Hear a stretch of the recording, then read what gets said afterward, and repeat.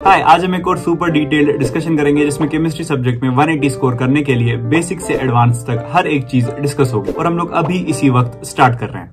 शायद chemistry subject से परेशान जनता को आप क्या सलाह देना चाहेंगे?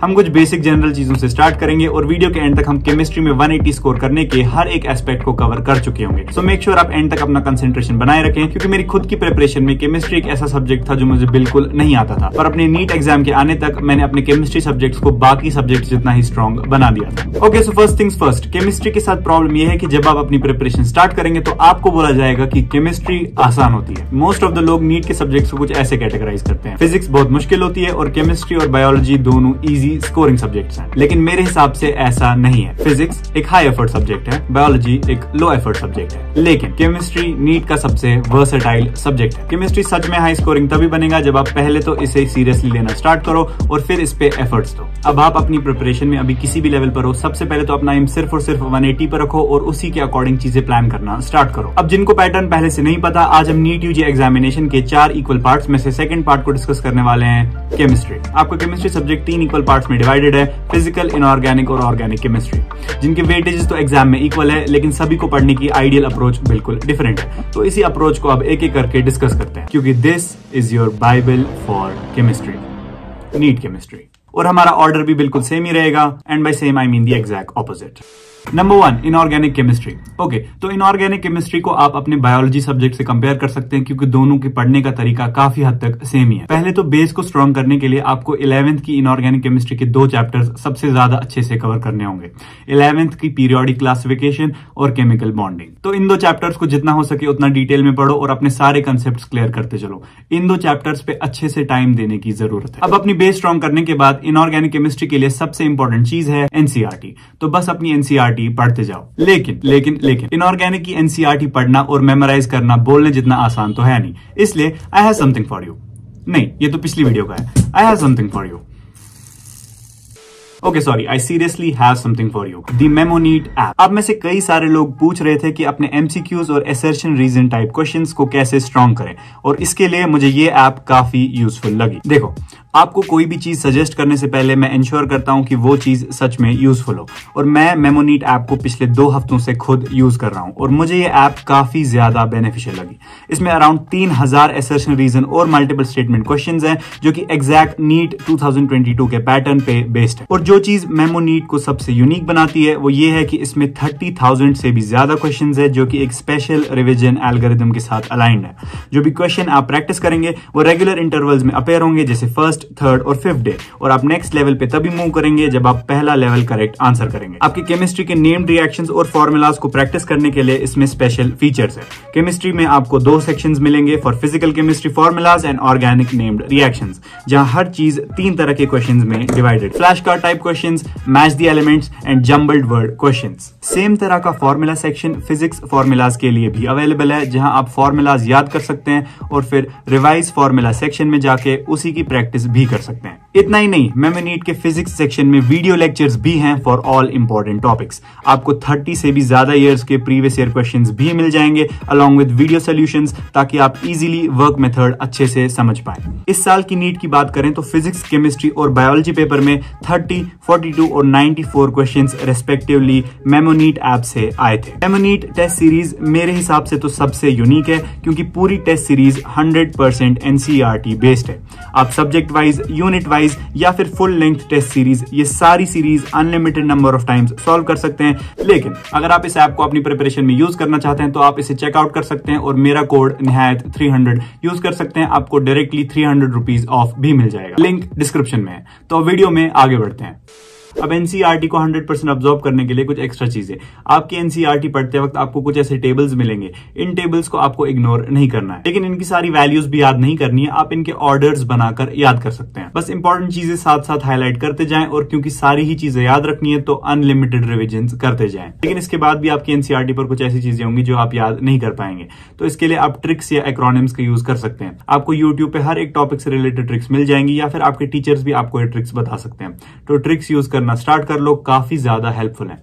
नंबर टू ऑर्गेनिक केमिस्ट्री ठीक इनऑर्गेनिक की तरह ऑर्गेनिक की बेस को स्ट्रॉन्ग करने के लिए आपको ऑर्गेनिक की इलेवेंथ क्लास का एक chapter organic chemistry some basic principles and techniques यानी जीओसी अच्छे से पढ़ना होगा। जीओसी को जितना ज़्यादा हो सके उतना ज़्यादा टाइम दो और उसे एक चैप्टर में हर एक चीज़ एक्सप्लोर करने की ट्राई करो।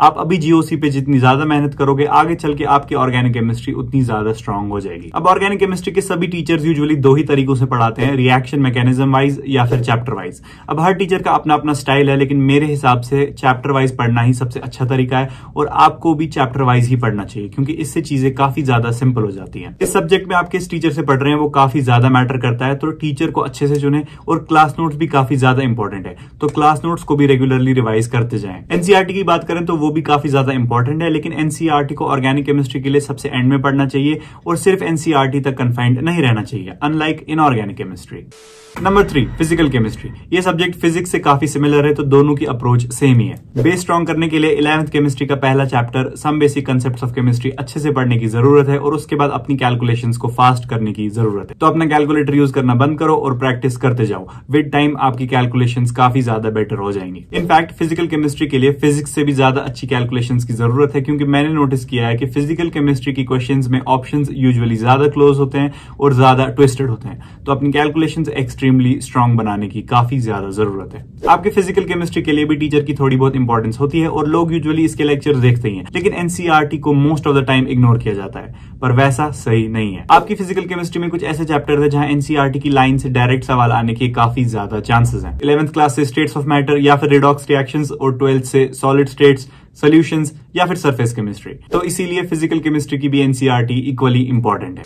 ओके okay, हमारे सब्जेक्ट से रिलेटेड चीज़ें काफ़ी हद तक डिस्कस हो चुकी है तो अब कुछ ऐसे इंपॉर्टेंट पॉइंट्स डिस्कस करते हैं जो केमिस्ट्री सब्जेक्ट के लिए इन जनरल एप्लीकेबल है. टीचर्स केमिस्ट्री के सभी डिविजन में टीचर से चीज़ें पढ़ना मोर और लेस इंपॉर्टेंट है. तो ये है केमिस्ट्री के some of the best teachers जो मैं आप लोगों को रिकमेंड करूँगा. ट्राई करें कि आप इन्हीं टीचर से पढ़ रहे हो. कोचिंग ऑफलाइन में सभी एजुकेशनल जाइंट्स ऑलमोस्ट इक्वल हैं तो कहीं से भी पढ़ लो और ऑनलाइन में फिजिक्स वाला से पढ़ो preferably from Yakeen batch text books देखो, सबसे अच्छा ऑप्शन है कि आपके पास कोचिंग मॉड्यूल्स हो। मैंने अपनी खुद की पूरी प्रिपरेशन में केमिस्ट्री में एनसीआरटी और कोचिंग मॉड्यूल्स के अलावा कोई और बुक सोर्स यूज़ नहीं किया था। अब लेकिन अगर आपके पास मॉड्यूल्स अवेलेबल नहीं है तो आप ये सारे बुक सोर्सेज यूज़ कर सकते हैं। और हाँ एनसीआरटी तीनों सब्जेक्ट्स के लिए इंपॉर्टेंट है, लेकिन बेटर ये रहेगा कि आप अपनी एनसीआरटी को अपने लेक्चर्स और स्टडी मटेरियल को करने के बाद पढ़ें। मॉक टेस्ट आपको रेगुलरली मॉक टेस्ट देने चाहिए ताकि आप अपनी प्रिपरेशन को एनालाइज कर पाए। टेस्ट हमेशा ऑफलाइन मोड में ही देने चाहिए और टेस्ट के बाद टेस्ट को एनालाइज करना बहुत ज़्यादा ज़रूरी है। आप एक छोटी सी मिस्टेक कॉपी भी बना सकते हैं और फिर टेस्ट में की हुई गलतियाँ आप उस पर नोट डाउन कर सकते हैं। फिर बस उसी कॉपी को बार बार रिवाइज करते जाएँ, वो गलतियाँ आपसे फिर से रिपीट नहीं होंगी। और हाँ एक और इंपॉर्टेंट चीज़ जो आपको टेस्ट देते वक्त ध्यान में रखनी चाहिए। किसी भी क्वेश्चन को अप्रोच करते वक्त सवाल से पहले ऑप्शन चेक करने चाहिए। इससे आपको पहले ही आइडिया लग जाएगा कि कितनी प्रिसाइज कैलकुलेशन करने की ज़रूरत है और साथ ही आप ऑप्शन एलिमिनेशन से भी सवाल को सॉल्व कर सकते हैं। अब अगर आपको टाइम टेबल मेंटेन करने में प्रॉब्लम हो रही है तो आप एक और नोटबुक मेंटेन कर सकते हैं डेली एंट्री डायरी जिसपे आपको ये नहीं लिखना कि आप पूरा दिन क्या करने वाले हैं, लेकिन आपको टाइम टू टाइम उस पर एंट्री करनी है कि आपने दिन में क्या किया। ऐसे दिन के एंड में आप रियलाइज़ कर सकते हैं कि आप कितना टाइम इफेक्टिवली यूज़ कर सकते थे और उसी अकॉर्डिंग आप खुद को इम्प्रूव कर सकते हैं। अपने डेली टारगेट्स तो आपको सेट करने ही चाहिए, लेकिन उसके साथ साथ आपको वीकली और मंथली टारगेट्स भी सेट करने चाहिए। इससे इन द लॉन्ग रन आपकी एफिशिएंसी बढ़ेगी। सो मेक श्योर आप ये चीज़ अच्छे से फॉलो कर रहे हैं। और हाँ मोटिवेशन आपकी प्रिपरेशन के लिए एक इंपॉर्टेंट चीज़ है। लेकिन वो मोटिवेशन आपके खुद से आनी चाहिए। किसी यूट्यूब वीडियो से या फिर किसी और की बातों से जो आप मोटिवेट होते हैं, उसका कोई फ़ायदा नहीं क्योंकि वो टेम्पररी है। तो खुद से अपने आप को मोटिवेट करने का एक अच्छा तरीका यह है कि दिन के एंड में जब आप अपनी डेली एंट्री डायरी रिव्यू करेंगे तो आपको आइडिया लग जाएगा कि आपका पूरा दिन कैसे गया। अगर आपने अपने दिन को अच्छे से यूटिलाइज किया तो आप एक पेपर पे अपने लिए ए आई आर वन लिख सकते हैं। और जिस दिन आपको लगे कि आपने अपना पूरा दिन वेस्ट कर दिया, तब आप अपने आप को दस रैंक नीचे गिरा दो। तो फिर अगले दस दिन आपको कंटिन्यूसली मेहनत करनी पड़ेगी ताकि आप हर दिन एक एक रैंक चढ़ के वापस ए आई आर वन पे आ सको। तो ऐसे ही हर दिन मेहनत करके आपको ये ट्राई करना है कि आप अपनी पूरी प्रिपरेशन में ए आई आर वन पे ही अपना स्पॉट मेंटेन रखो। ये तरीका आपको हर दिन खुद से मोटिवेट करने के लिए बहुत ज़्यादा यूजफुल है। ओके okay, तो केमिस्ट्री के रिलेटेड हर एक इंपॉर्टेंट चीज़ तो डिस्कस हो चुकी है। अब कुछ इंपॉर्टेंट पॉइंट्स याद रखना। इनऑर्गेनिक केमिस्ट्री टीचर की खास इंपॉर्टेंस नहीं है। चाहे तो किसी से भी पढ़ सकते हो। एनसीआरटी सबसे ज़्यादा इंपॉर्टेंट है। उसके अलावा कुछ और याद करने की ज़रूरत नहीं है। क्वेश्चन प्रैक्टिस करने चाहिए लेकिन ज़्यादा फोकस चीज़ें याद करने पर होना चाहिए। ऑर्गेनिक केमिस्ट्री टीचर की सबसे ज़्यादा इंपॉर्टेंस है। मेरे ओपिनियन में सबसे बेस्ट टीचर है पीडब्ल्यू के पंकज सर। एनसीआरटी भी काफ़ी इंपॉर्टेंट है लेकिन उससे हायर लेवल पे जाना भी ज़रूरी है। क्वेश्चन प्रैक्टिस करना बहुत ज़रूरी है। इसलिए थ्योरी और प्रैक्टिस पे इक्वल फोकस होना चाहिए। फ़िज़िकल केमिस्ट्री टीचर से चीज़ें पढ़ ले तो बेटर है। गो फॉर पीडब्ल्यू सर्वे सर और रिट्रिक सर एनसीआरटी और एक्स्ट्रा मटेरियल इक्वली इंपॉर्टेंट है लेकिन आपका सबसे ज़्यादा फोकस क्वेश्चन प्रैक्टिस और स्पीड विद एक्यूरेसी पे होना चाहिए. Okay so that's it for today good luck and now go study वैसे फ़िज़िकल केमिस्ट्री से याद आया केमिस्ट्री के बारे में तो बात हो गई लेकिन अब अगर फिजिक्स सब्जेक्ट को स्ट्रॉन्ग करना है तो ये वाली वीडियो पे क्लिक करो सारी चीज़ें क्लियर हो जाएँगी.